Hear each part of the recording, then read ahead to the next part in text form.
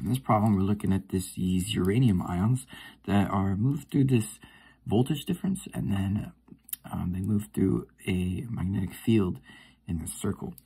Um, the machine is able to produce 1.26 milligrams per hour, and we're going to try to figure out these three different questions. First, what is that magnetic field?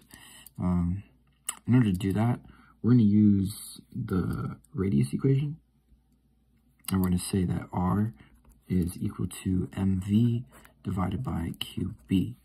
And we can kind of rearrange that and just say b is equal to mv divided by qr. And uh, we should be able to figure this out, but we have to figure out what the velocity is as well. Um, so to do that, we need to use the potential difference here.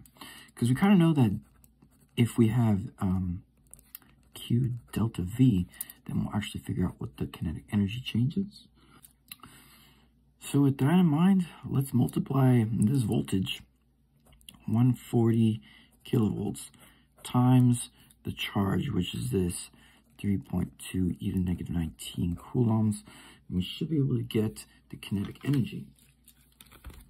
So it should be 140 to the third there times 3.2, 19, getting 4.48 to the negative 14. And this would be joules for the kinetic energy. And uh, if we're going to rearrange this equation, we can say that uh, k equals 1 half mv squared. So, you know, 2ke divided by m of the square root is equal to velocity. That's what we can plug in over here. We kind of say that b is equal to uh, m divided by qr, and then there's this whole square root of 2ke over m situation. And then we'll be able to figure out what the magnetic, what the magnetic field is. So let's try that. We've got the mass is 3.92 to the negative 25 We'll divide that by the Q, which is 3.2, and 19, and the R, which is 1.31, and then we'll multiply this whole thing by the square root of 2 times um, kinetic energy, um, which is this, times 4.48 negative 14, and divide that by the mass, which is that 3.92 25. And yeah, so that should give us this uh, 0.447 uh, Tesla right here for the magnetic field. And now we can take a look at the current. Well, the current is supposed to be Q over S, right? So we've got um, we've got this happening here. 1.26 milligrams per hour that this is pumping through here. So let's try to convert this into Q over S.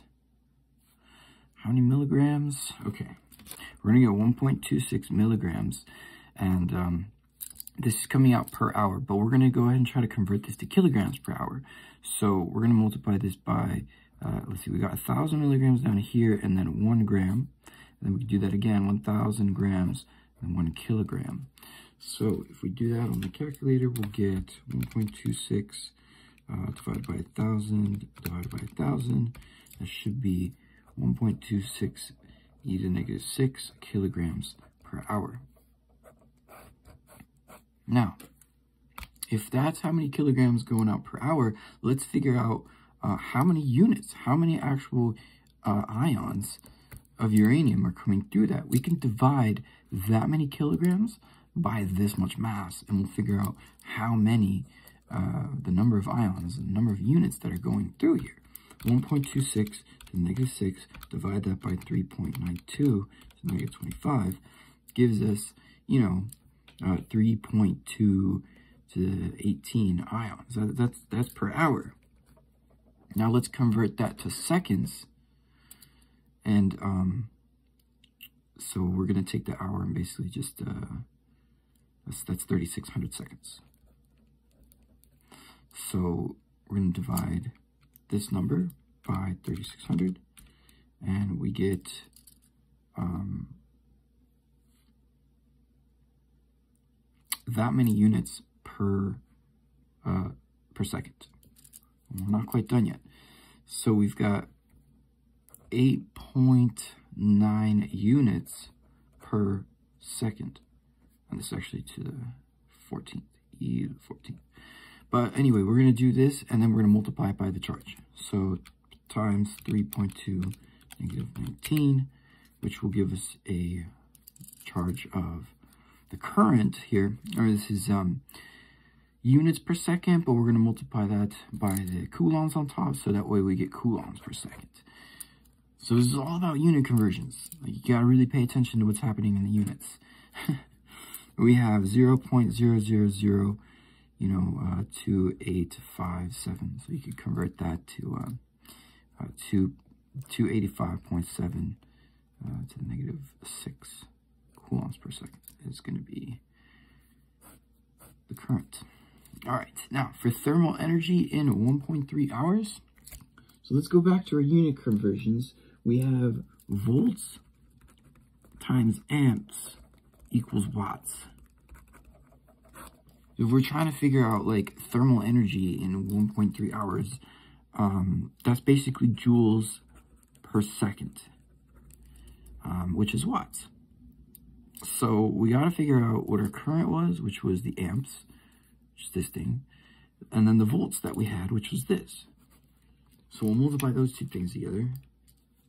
That's going to be 140 uh, kV times our current, which is 285.7 negative 6. That's going to give us the watts that we have, the wattage. And um, we uh, we want to know we want to know how many joules of kinetic energy in that many hours. So we're going to have to take the wattage, which is joules per second, and multiply it by the seconds. We're going to be left with the joules remaining. That's how much energy it is. So we're looking at joules here. Um, so if we take the watts and multiply it by the 1.3 hours, then we're going to get rid of the seconds. 1.3 but we should also multiply that by 3600 because that's how many seconds there are in the uh, in the hour. And uh, so yeah, so we get 187, 190 joules after 1.3 hours. That's because uh, yeah, so that's the wattage. Not much time. So yeah, so we're now we're, we're doing all these unit conversions. Hopefully that made a lot of sense.